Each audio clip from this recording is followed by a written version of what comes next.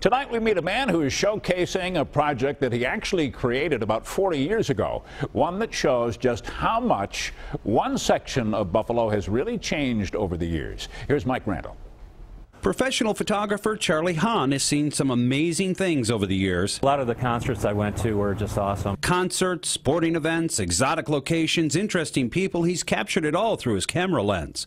Charlie Hahn left Buffalo a couple decades ago, but he's back for a visit. The city seems to be coming coming around so much lately. He's getting ready for a one-man show of his work. The show will feature a series of pictures he took 40 years ago, right here on Chippewa Street. Typically, when you heard about Chippewa Street, it was uh, somewhat of a dangerous place to come to, especially at night. Charlie was in high school in 1975 and wanted to photograph Chippewa for a school project. It was a red light section. It was, you know, full of um, and alcoholism, and also drugs and violence. No wonder his teachers were worried about his safety. They didn't think it was a good idea at first, uh, and so with a little prodding, they let me. They allowed me to do it. Good thing too, because Charlie was able to capture a vivid time capsule of a place that doesn't really exist anymore.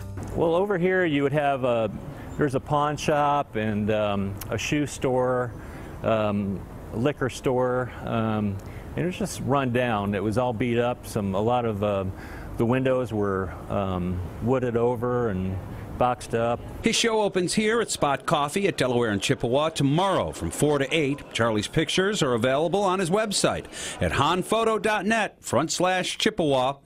In a career of memorable photos, these top the list for him. This is, you know, by far um, the most exciting project that I've had, the Chippewa project. 18-year-old Charlie was pretty satisfied too, even though his photo essay really didn't get graded. You didn't get graded? No. It was either pass or fail. I'd say he definitely passed. Mike Randall, 7 Eyewitness News.